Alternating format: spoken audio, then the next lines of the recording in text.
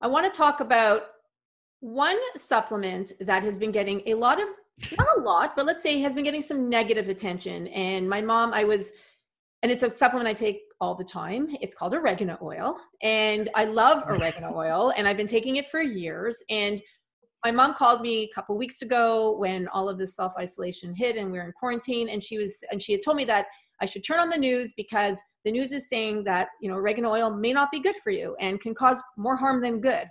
I want to get to the science. Number one, is there science behind oregano? And I want to know, does it help to support and boost our immune system? Oregano is one of those things. Uh, I will be honest; it's one of my pets. I love it. I go through it like you would not believe. I I am nutty enough. I even cook with it. It's it's one of my favorite things out there. I've been doing this probably 30, 35 years. I've been using oil of oregano. I love it. I probably have a good half dozen bottles in my house of the various forms to make sure no matter which way I want it, I got it. Now, you have to understand oil of oregano is made from oregano essential oil. And I don't care what essential oil you're talking about, they're potent. As soon as you move to something that's a spice based oil, it's even more potent. Now, the reason I'm going into that, I'm saying is you want to treat it with respect. And they may say, no, how do you respect an oil? It's an inanimate object. The way you respect it is you respect its potency and its power. You can overdose on it and you can go way too far. The adage that if a little is good, a lot is better does not apply here. And that's where I think a lot of the concern around oregano oil is happening. That's one reason. Another reason is there's a sector in our industry that unfortunately likes to overhype stuff. And as soon as you start overhyping, what you do is you start making claims that are non justifiable. And that's when people catch you. And it, it, it's wrong. It, it is.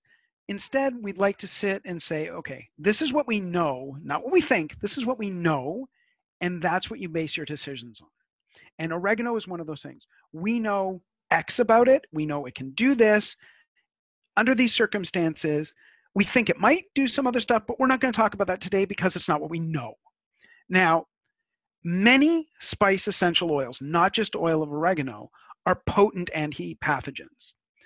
In particular, oregano is widely recognized because it is a potent antimicrobial, antiviral, and antifungal. Now, here's the kicker all the testing on that has been done either in a petri dish, in lab settings, or in animals other than humans. But this led oregano to being studied also for its immune boosting activity. And in that case, we have actually done studies on multiple animal species, including humans we don't know the exact mechanism of how it does it, but it does boost the immune system. We believe it's the relationship between two of oregano's key components. And every essential oil has a class of components called terpenes. Some people pronounce them terpenes. Terpenes are the volatile compounds where, as soon as you open the bottle, you get this woof of smell. All those are the terpenes leaving the oil. So two of the specific ones that oregano has that have been studies are carvacrol and thymol. And what makes oregano fairly unique, because carvacrol and thymol are also found in numerous other spice oils, for example, rosemary, sage, um, thyme. Uh, what sets oregano different is the ratio between carvacrol and thymol. It's high in carvacrol and low in thymol. They both they both do exert activity in the body, but at the various levels, and it's the they believe the interplay between them that gives oregano its strength.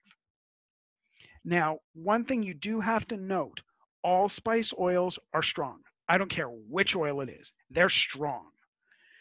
If you have a tendency to have issues with spice oils, or even with spices themselves, you're going to want to take one of the forms that isn't a direct oil. Like a capsule. Like a capsule, or there's also buffered oils out there where they've added other oils such as orange and lemon to mm-hmm. reduce the taste. But you also have to be careful of capsules. If it's an oil capsules, for example, a soft gel, a lot of people who have issues with spices also have issues with them. There are oil, there are capsules out there where they've spray dried the oil onto something like calcium or onto fiber. Those tend people tend to be able to tolerate much better. Oh wow. Now, what uh, so I just want to repeat again. So there is yep. research 100% on the benefits of oregano oil on helping our immune system. Correct. On boosting it, yes. They they're not certain exactly how it does it, but they know it does it. So it helps to support our immune system and boost it. How much oregano oil? Uh, what does the research say on the dosaging?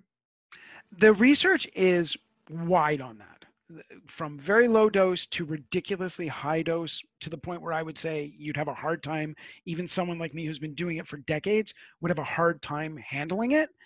My personal bent on it is I use a super strength oil liquid and I take two drops a day regularly. If I'm at a time where it's everyone around me is sick or I'm concerned about it or I'm feeling under the weather, I'll double it to two drops twice a day that to me is fairly potent. And I, am not joking. I take it and I start feeling it right here after literally three seconds. You can feel it warming. You make a good distinction because there's some that are extra strength or super strength, some that are regular strength. I normally take regular strength and I'll do 10 drops under my tongue and then I'll drink it down with some water if I'm feeling a little bit under the weather. One thing I do want to ask you, and I've heard again differing opinions on this, but I want to know what the research says. I've heard that you're saying you take it every single day, two drops every single day. Now that's a very small dosage, but I've heard that if you take it for long periods of time, it actually can disrupt your like the good bacteria in our gut. Is that true? There are theories on that. I have not seen a single clinical paper that addresses that either positively or negatively. What I can say in my own personal experience is I hedge my bets. And what I do is I take oregano daily and I wait at least a half an hour and then I take a probiotic daily. Mm. I, I do both.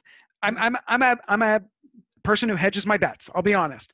If there's no research out there telling me one way or the other, I go, hey, it's not going to hurt me. Why not do both?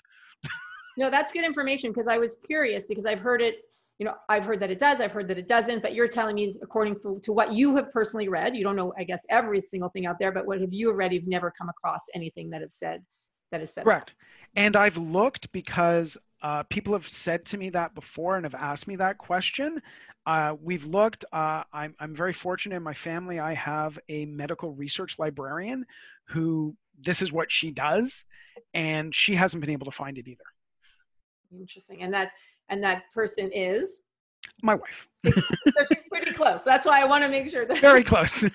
so the two of you, wow, you guys on your spare time must have you like you guys are fun. uh, it depends on your definition of fun, but we, we, we tend to think we have a good time. I love it. No, I think that's great. No, again, it's coming back to the science and the research, and you do that research. So I, I want to be very clear, and I, I love that.